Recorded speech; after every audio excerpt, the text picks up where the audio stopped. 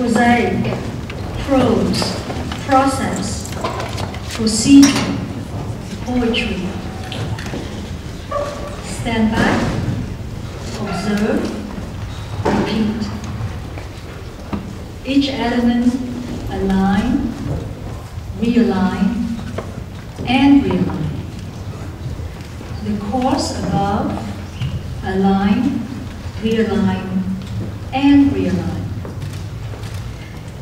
E. E. Cummings was a poet who famously eliminated capitals, punctuation, elaboration. The Japanese have haiku, common words, uncommonly assembled. Humble materials, poetically assembled. Monica Ponce de Leon and her partner Nader Tehrani have based their practice on the rigorous assembly of materials, evolving figurative geometry from carefully calibrated operation which, bit by bit, like a drawing by Escher, evolve into columns, walls, opening, a whole vocabulary. Monosyllabic, yet expressive. Exploring limits, yet pragmatic and rigorous. When you start to imagine what a brick can do in their hands, you realize that Monica and Tehrani have employed every device in their arsenal.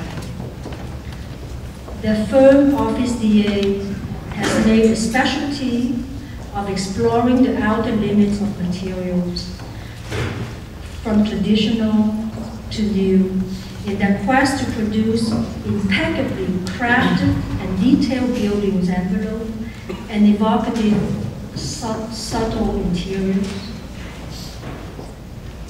These elaborate, unrelenting, inexorable investigations in the form of designs for furniture, buildings, and experimental structures have forged an important step in the search for a link between the digital realm and the material world, uniting traditional craft and technology, two quite disparate fields, in a manner that preserve and enhance the integrity of each.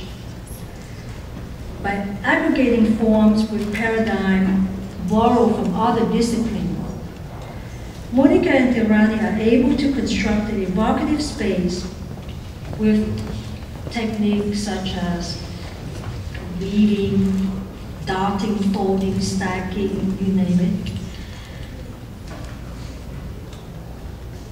All of these techniques for material which in other hands are often static, ponderous, and quite unyielding. Since its, since its founding, Office dA has received more professional and design awards than any young firm that I know of. To name a few, they received the Harleston Parker Medal, and very, very early the award uh, in architecture from the American Letters. Equally early, the Cooper Hewitt National Design Awards, and I'm counting, 11 Progressive Architecture Design Awards. So now when you think that the firm was only established in 1991, I think that is quite an achievement. It's very impressive. It has been some time since we've heard about their recent work, especially actually last time when Monica was here, that was I think summer 2002.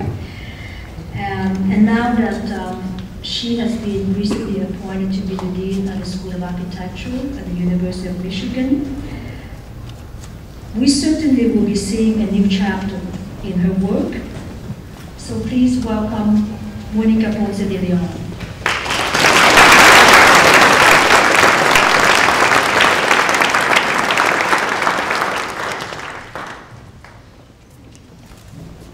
So as Ming just mentioned, I taught here in 2002, and it has been fantastic to see the school evolve so rapidly under Eric's vision and with Ming and Chris's leadership among amazing faculty. So I'm a little bit nervous because I'm actually among some of my favorite architects, so you'll forgive me if I stumble tonight.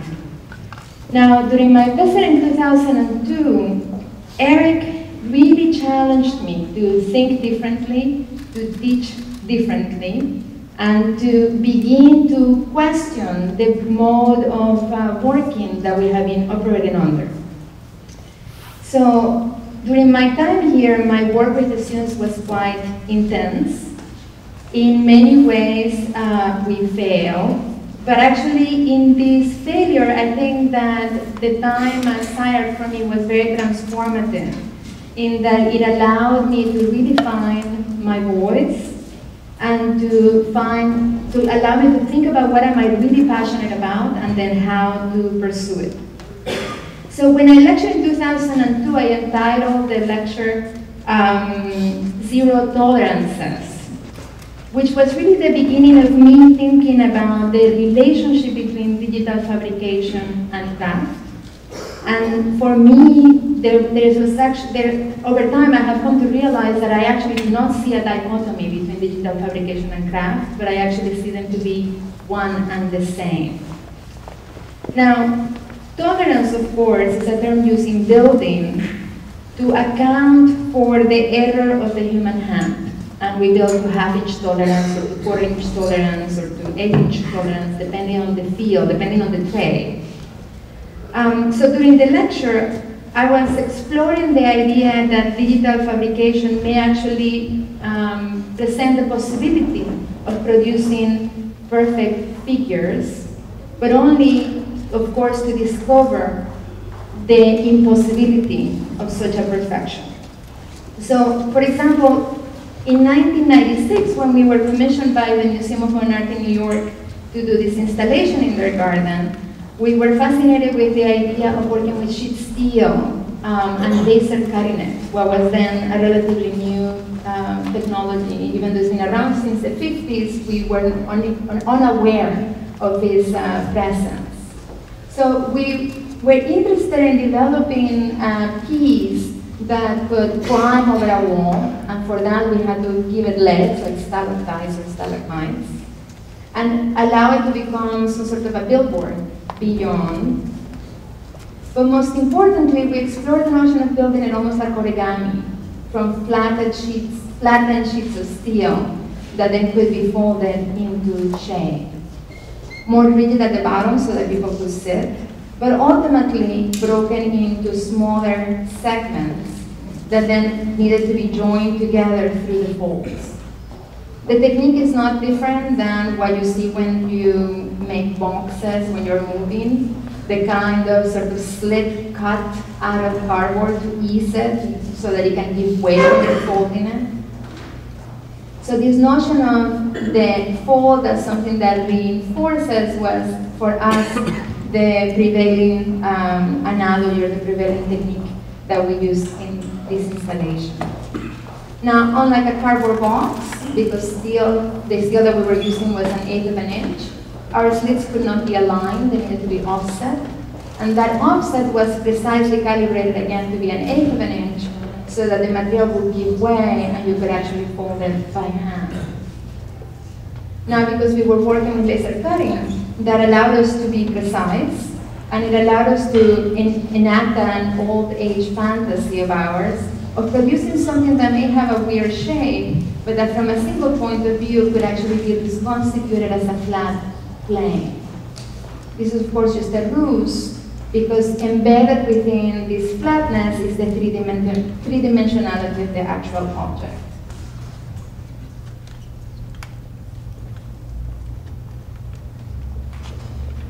Now, Precision needed to be calibrated in this case by things like the door of the um, steel fa uh, fabrication shop. It needed to be predicated on the reinforcement of the piece so that it could travel to the site. And it needed to account for its assembly on the street behind the. Now, much to our dismay, these pieces that have been pre-cut, pre-assembled, pre-measured, did actually not fit together. And I think you can probably see here the slit, and then here the slit as how they did not fit. We spent hours scratching our heads um, about to have a heart attack because the rental of the crane was about to expire and the permit from the city of New York to close the street behind the museum was about to expire. Um, and it took us a long time and a lot of wine over lunch to realize that the problem was the street was not flat. So while our piece was perfect and straight, the surroundings were not flat. The irony of that is that we had already anticipated that the site conditions will not be precise, and we had allocated for a, a slip joint in all of the columns that supported the piece, understanding that once it was into place, the ground underneath it would not be level. But we were unable to anticipate the street where the two halves will then be joined. So I tell the little story because it leads me to believe that in fact in architecture there might be nothing but approximations. And approximations, approximation is uh, for me a very interesting term because in mathematics it's actually the inexact representation of something close enough to be useful. And it seems to me that in architecture, all what that we do is actually search for those approximations. The presence, for example, of a hand when opening a set of drawers, and it's something that can then lead to a reverberation on a surface that is somehow the result tangentially of the need for that hand to open the drawer itself. And how that can translate, depending on how you orient your material, on a topography a topography that may be analogous to a site, or a topography that may be analogous to the act of making, or a topography that may be analogous to simply a landscape. And this contradiction between something that looks carved, making reference to craft, but also mechanical, the fact that we're carving out of plywood, there might be nothing more mechanical than plywood, and this cross-section between a natural material wood that then is treated um, by machines in different versions before and after. So when we did this house in um, New England, we were obsessed with the relationship between the configuration of the building and its dissonance with the site. And that tension between the site and the program uh, led us to a figure that forced a rupture on the skin of the building. In the ground level, a kitchen with a family room. In the upper level, a living room that got great views of woods beyond. And then a staircase that somehow stitched them together. But a staircase I had to move away because of the presence of a hallway. So for us, that hallway pushing the staircase away produced a delamination of the wall, a delamination that exposed in a way the guts of the building. And in that exposure, a skin that was meant to just be simple and single became then severed, almost like a gash. Now, the technique that allowed us to pursue a figure of this kind within a reasonable budget turns out to, turns out to be digital technology. Our experience with digital technology has been that it actually makes things affordable rather than more expensive so that all of the components that you see on the curve were digitally fabricated. And what is interesting is that they become the jig for the production of the wall itself. The technique at the end is not very different from 19th century techniques of making boats. It's just that the tools and the equipment are different. This allowed us to produce, again, fantasies such as tilting a wall above the headroom of um, the user, always taking into account how it is to be fabricated on site. So while we think of technology as advanced, the nitty-gritty reality is that it is hands that actually put it together.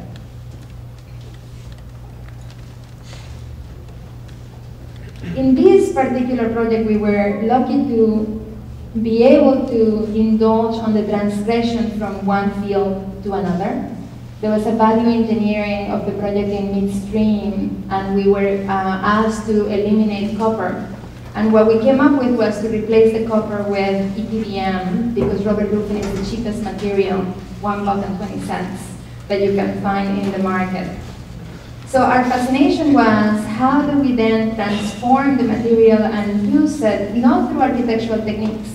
Since we no longer were using it as a roof, we felt that architecture did not suffice.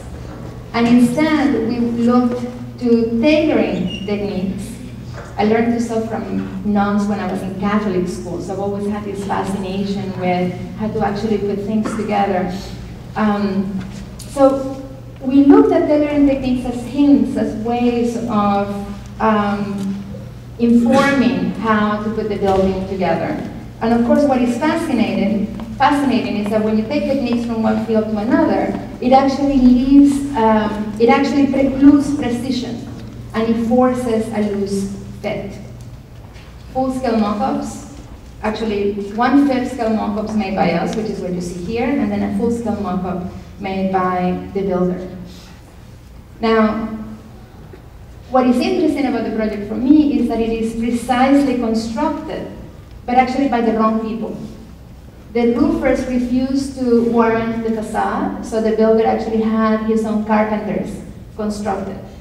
So you actually have untrained labor, labor that should not be doing this work, figuring out how to precisely enact it. And you can see here the fuzzy line where the roofers finished and where the carpenters began. Also interesting to me is that to produce the effect of precision, we had to construct a corset around the windows to hold the rubber in place. Because in the translation from a dress to a building, the same techniques again do not stand. It's not very different than what we do with boats when you apply fiberglass to the boat.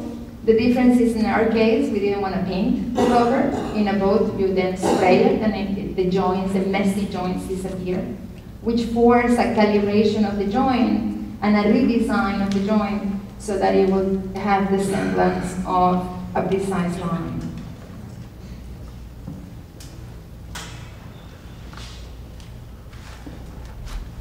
Shift in scale forces different shift in detailing, but also the increasingly complex configuration of buildings creates frictions and creates resistances that, in my mind, muddy up the waters in interesting ways because it precludes easy solutions and easy answers.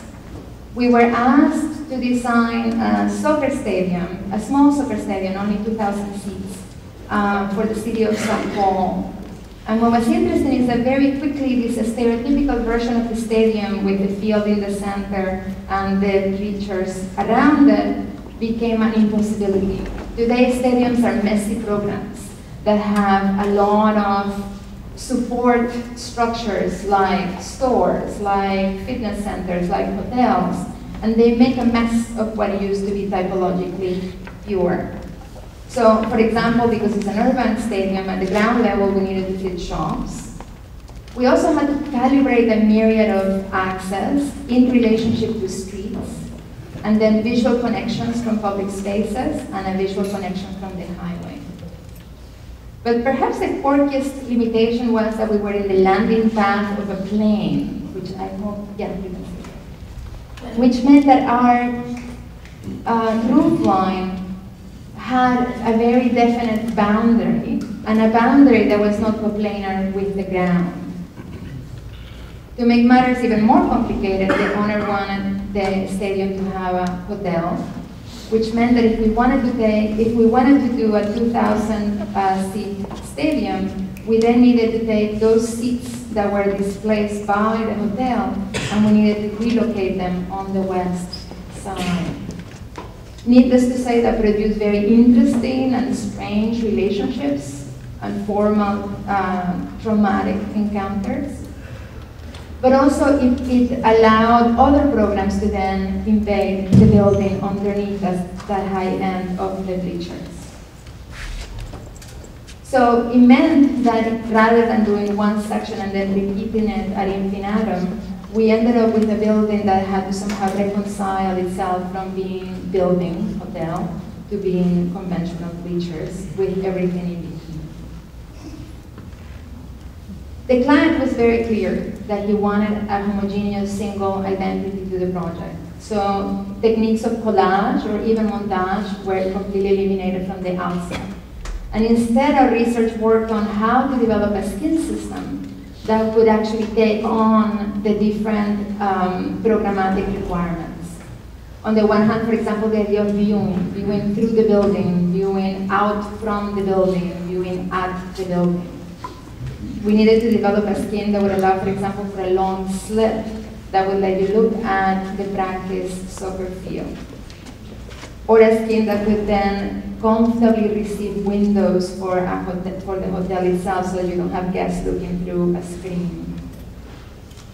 So we worked with shingling, but shingling expanded to a massive scale. Uh, and we work with shingling because, of course, historically it allows for a myriad of geometric transformations, but also it allows us to expand the shingle as a way of introducing conventional punctured windows. The technique is not very different from what Paco Rabanne did when he went ahead and increased the size of the sequence on a dress so that it would still configure to the female figure, but in a very jarring and disproportionate scale. The joint itself for us was a challenge in that we needed a joint that would allow flexible movement and flexible transformation. So we looked very closely at armory, for example, and in particular Korean armory, as a way of understanding how to pin our shingles together. And ultimately, the challenge was to produce a building that would transform along its length while still retaining continuity.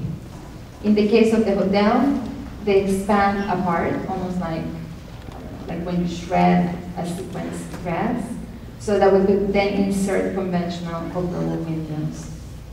It was also important for us that the roof and the wall be a single system, since the roof height was varying throughout and our section was varying throughout.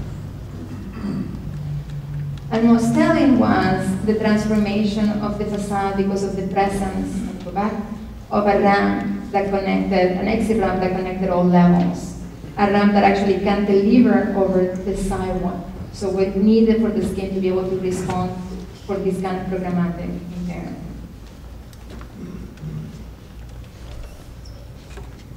Now, after my um, installation here at SCI-Arc, I was asked to, um, I was offered the opportunity to do a, a series of research projects at Georgia Tech.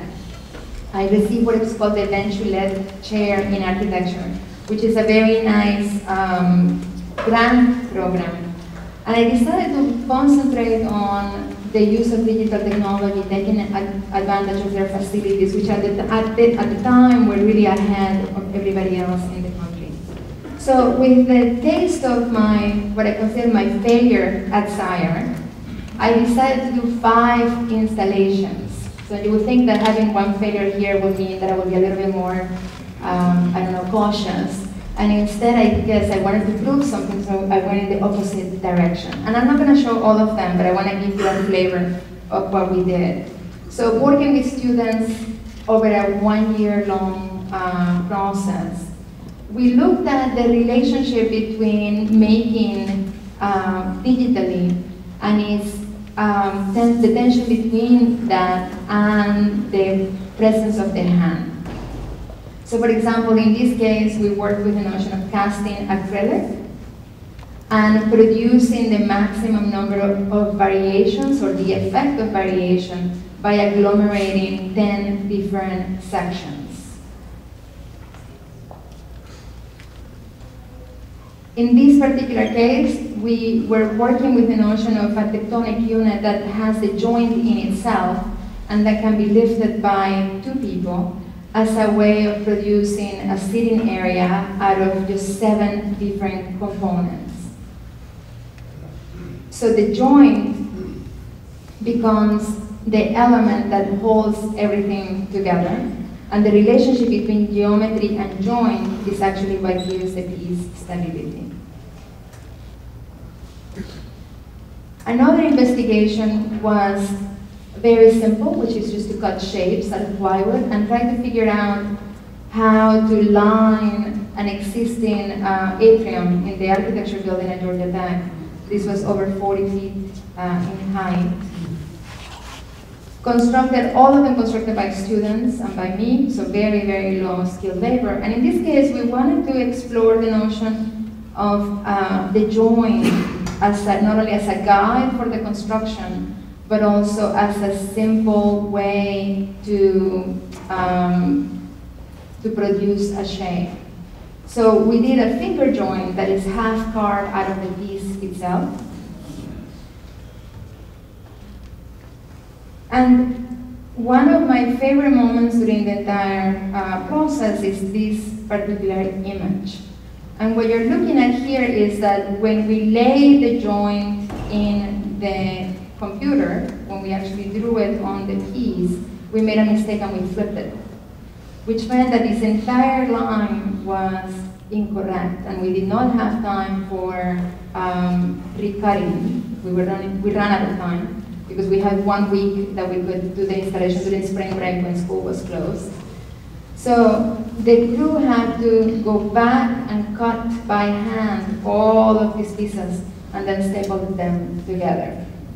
Now, what I like about that is that it immediately exposes the lack of distance between fabricating something um, with the aid of the computer and what you, of course, do by hand.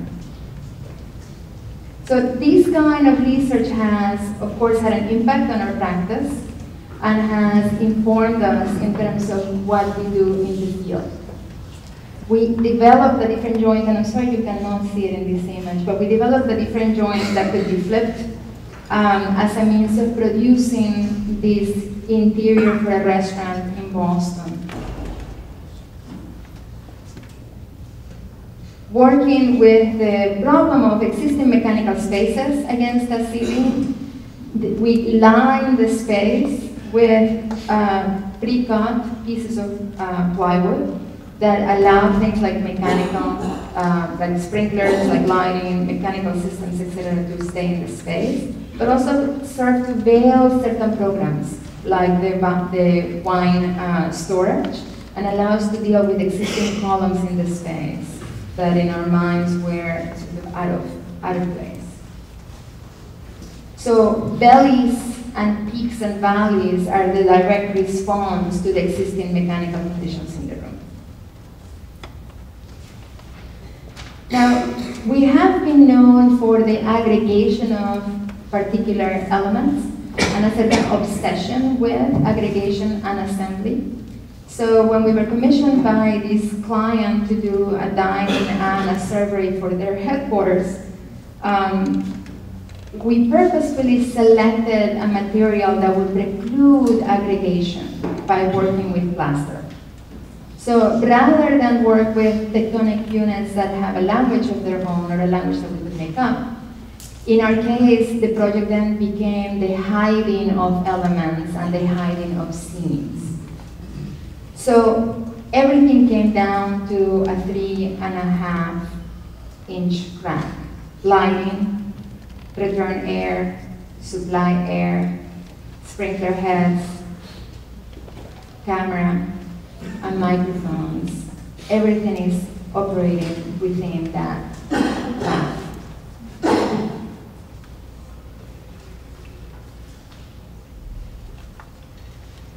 Now what enables those gaps to function is two panel types. One that could receive an acoustical material, Welsifon, and the other one to just be plastered over. And in order to hide the difference in texture of the wasopon, which is not actually very nice when you look at it, we did two different uh, textures to the plaster so that you end up with three um, you end up with three different variations in terms of tone and light and reflectivity. And we felt that that was a way of approximating homogeneity actually through variation. Now, a lot of the projects that I have shown deal with surfaces and explore digital fabrication almost in a cop-out way by just simply dealing with that surface. So we were very interested in seeing if we could translate that technique or use the technology to actually produce three-dimensionality.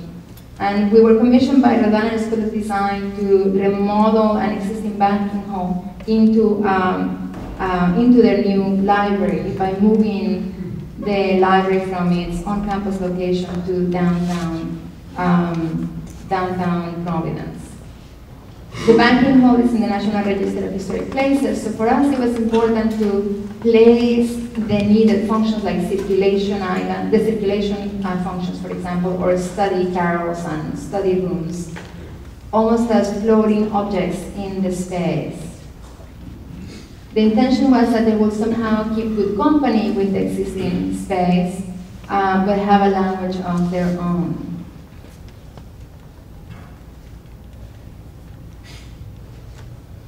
We also thought of them as a way of calibrating a different relationship to space and a different relationship to study. In the center, we wanted a lounge that was almost like the living room of the building. And then on top of the study island, we were dealing with very large tables where students could actually copy uh, details from books. RISD still has a very classical approach towards uh, uh, teaching drawing. But it also gave the students a different relationship to the room itself because it gave you a higher um, level view of what had only been seen from the ground. In order to be able to come within budget and on time, everything was prefabricated off-site. The uh, mill shop company used our digital files as a way of producing all of the pieces. And what was interesting is that we took our 3D model, we flattened them, gave them the flattened pieces. Those were routed, assembled into blocks, boxes, and then those were brought to the site and then molded together. So the actual assembly on site happened rather fast. We thought of this as an opportunity to work with variation. The machine doesn't cut what doesn't care what shape or what size it's cutting. I don't have to tell you guys that. So we thought it would be a unique opportunity to create infinite possibilities. And more specifically, we thought that we could use this as a way of exploring issues of universal design. And I don't know how many of you are familiar with this term, universal design, but I actually find it in a nerdy way very fascinating. Universal design is a critique of the uh, Americans with Disabilities Act, Americans with Disabilities Act thinks of people as able and disabled. Universal design actually thinks of people as having a range of abilities, which means that rather than working with an average or trying to address only the disabled, universal design thinks that you should work with a range. So in a very didactic way, for the study island, we were working with the smallest seated size, which is the seated female. And then at the other end, working with the tallest size, which is the standing male. And of course, everything in between. For the island that has study carrels around them, we wanted to be actually much more subtle. So not two seats are the same height, not two tables are the same height, no seats are, not two seats are the same depth, not two tables are the same depth, etc with the intention that over time students will find that study carrel that is comfortable to them. This is a captive audience, the students are visiting for four or five years. So students will be coming back to the library over and over again, and they may actually find that spot that somehow feels right. But also the intention was to facilitate either one, two, or three people sitting together in different spots depending on their size. Now, as a result of the fabrication method, we did not do shop drawings. Our shop drawings were really guides for assembly. Instead, what we did were digital files that were used by the mill shop company, but the mill shop company retained liability. The conventional process, of course, is that a mill, mill shop uh, company produces the shop drawings, gives them to the architect, the architect redlines them and then sends them back. In this case, in a way, we inverted the relationship. We gave them our digital files, they reviewed them for errors, they caught the errors, they sent them back to us and asked us to correct them. And in that way, they retained the liability, so that if they didn't catch an error, they were liable. So, in terms of um, guide for assembly, we didn't do every single element. We actually just did element types. So that there was 40, I think it was about 48 of these guys. So we didn't do 40 sheets, we did one that represented all of them. Again, the machine doesn't care what shape it's cutting. What, what you care about is that the person that is assembling it is assembling the same number of pieces in the same manner.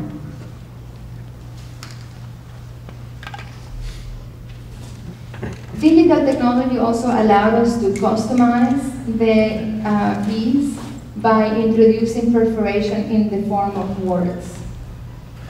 The librarians were very keen in including the names of authors and the names of artists and the names of alumni into the library.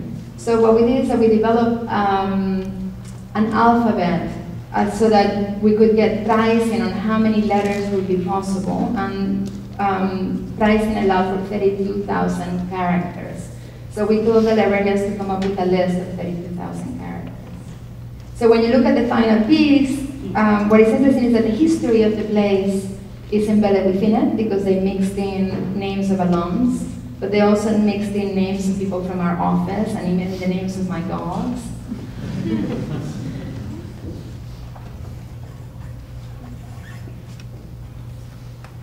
so we we became then interested in the idea of a unit that can transform, a unit that is transformable.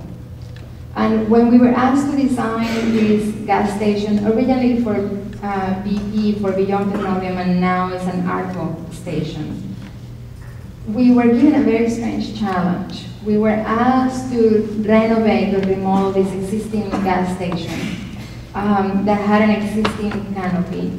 But yet the code required was actually to extend the canopy beyond its current boundary.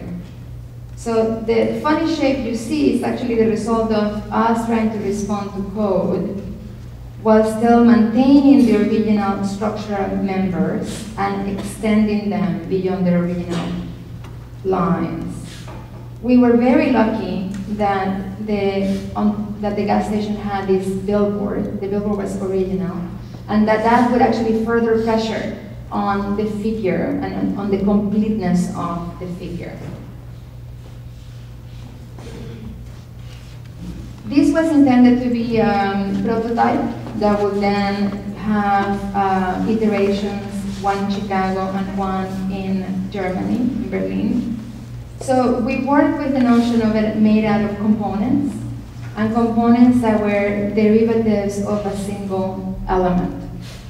The idea being that if we design a particular mushroom uh, cladding in such a way that it would be transformable, you could actually address multiple site conditions, multiple vehicular conditions, and multiple programmatic conditions, regardless of what city or what site you were at. So the column is designed so that it can um, so that it can be modified to even encase the booth where you pay for your gas.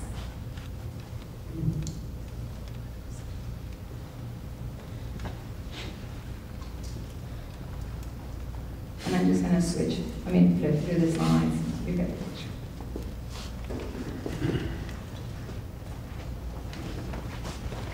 Now, there's something um, for, for me deeply unsatisfactory about the project. That is just a cladding project. Um, so when we were asked to design um, land port of entry, I love these terms. I always get them wrong, but I love them anyways. A land port of entry for the uh, United States government. We thought that this would be a great opportunity to take this idea a little further and actually work with the notion of a structural element that would transform according to the vicissitudes of the site and the program. We are we're working on Madawaska, which is the most uh, northern point port of entry in the United States. And it's a strange site because the bridge that crosses from Canada actually does not lead directly to the site. You sort of have to take a detour before you get to the site itself. The other peculiarity is that it's an inclined site. It's not a flat site, which proposes a huge problem in terms of vehicles. Because when you wait in line, of course, you want to be as flat as possible to avoid accidents in terms of ice and snow. So given the tilt of the site and how it had to actually relate to flat plains, we struggle to actually uh, design the project. Vehicles really run the day. Now, when we started, because it's a project for the General Service Administration, we wanted a rectangular building. We thought, okay, it has to be the most dumb building possible. And we tried very, very hard to do something really simple, like a square box. But it was really impossible to do something, quote unquote, simple. So the resultant figure is really the, is really the, um, the child, if you wish, of the tension between that inclined topography and all of the prerequisites of commercial traffic on this side, uh, privately owned vehicles on this side, and then outbound versus inbound traffic. Government project, therefore very low budget. We cannot afford huge retaining walls. So the whole site became a mediation of landscape with very slow, very small slopes. And this is something that translated into the building itself. So uh, from one end of the building to the other end of the building, there is a four-foot drop. And what we decided to do was use it to our advantage, allowing to connect views from one end of the site to the other for safety reasons. This is a facility that needs to be operated by two men at night, so the visual connection between them, as well as a clear view of the inspection, primary inspection and secondary inspection was paramount. Now the building from tip to tip is 800 feet long. And the height of the building in average is 12 feet. So what do you do? How do you make architecture of something that is really longer than a strip mall and the same height as a strip mall?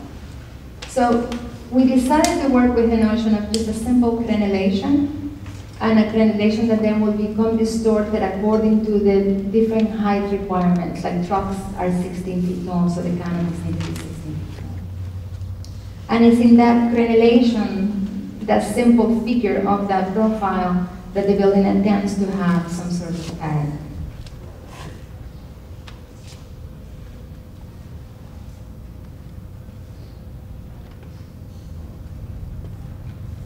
Now, because the design process is extremely complex with many constituencies, and the program is constantly changing, and the site was so um, difficult to negotiate, we decided to, we decided to design uh, two elements, and two elements that could transform in relationship to each other, a heat roof and a mushroom column. So the project works with the notion that one element can transform into the other, and that the roof is, and the canopy is the result of this kind of negotiation.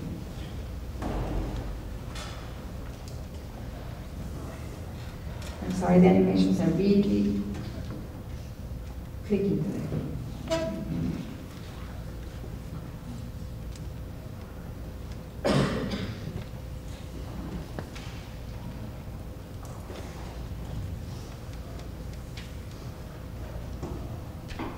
We were asked to enter a competition with a developer. It's a competition that we won but that did not get built. To design a mixed-use building.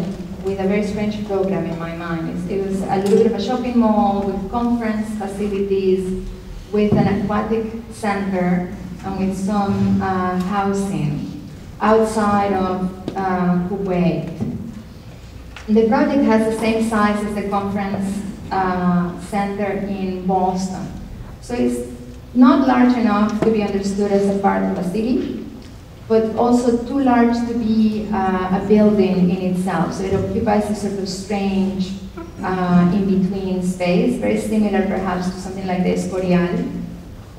So we worked with, we looked very closely at souks as a model, not only because we had a commercial program, but also because souks tend to operate in the same fashion. They're somehow buildings, but also um, fragments of cities in themselves. And in particular, when looking at the souks, we wanted to understand the relationship between the structural systems of the souk and the geometry that makes the cloth frame. And these geometries are extremely precise with very interesting repercussions in terms of spans and interesting repercussions in terms of distances. So that relationship between geometry and structure is something that became a driver in the project. And in particular, our structural engineer came in with this notion, which we uh, find fascinating, of a, trabecular, trabecular structure, which is, it, which is a, it's a component of bones, and it's a component of bones that changes density depending on what part of your body it is. So, for example, the one on the right-hand side is the top of a hip, the one on the left-hand side is actually part of your cervix. And you can see how very different, even though they're in the mid area of your body, how very different they are from each other. So we were interested in this idea of a structural system, a coferent system, a porous system that will be very different depending on the structural forces acting upon it. And we thought of that as a way of mediation between the different kinds of spaces in the building um, such as, for example, the kind of long span that was required by the aquatic center. Again, a very strange program. Um, and it led us to believe that we could actually change the geometry of the coffers depending on of the figures of the programs that it was supposed to house. So for instance, when looking at the theaters, we began to work with a triangular system that then transformed into a rectangular model. And each of these systems then help, give, help give um, a different character to each of the programs while still maintaining continuity in terms of um, the, the experience and the image of the dog.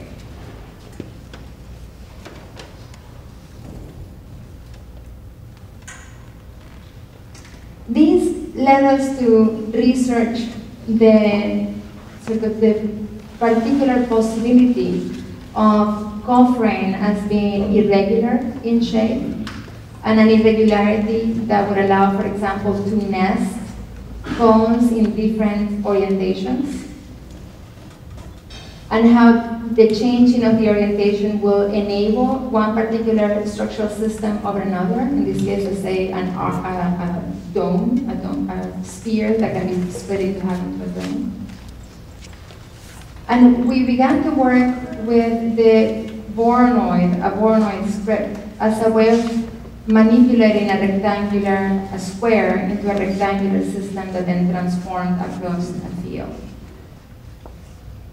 Now, the Institute of Contemporary Art asked us to do an installation at George's Island, which is in the middle of the Boston Bay, and we chose to do it in this powder house. Um, and to actually place something in its interior. So we were working with the idea of something that needed to prefabricate, be prefabricated and placed on a boat.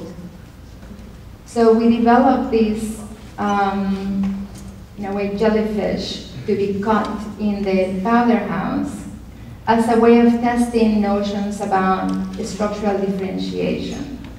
So the same element at one end acts as a wall, and at the other end acts as a dome, with the transformation calibrated in between. So the jellyfish, in a way, becomes an activator for the space and is the result of that cellular structure.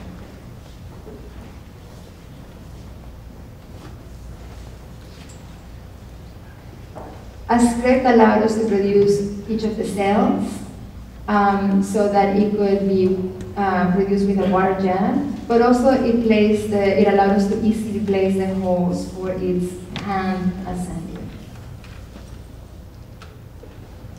Shortly after, we used the same technique to then do another version uh, in China. So as you can see, there are different versions of the same idea, always trying to approximate a particular figure. And I think I'll stop here. And I would love questions. Thank you.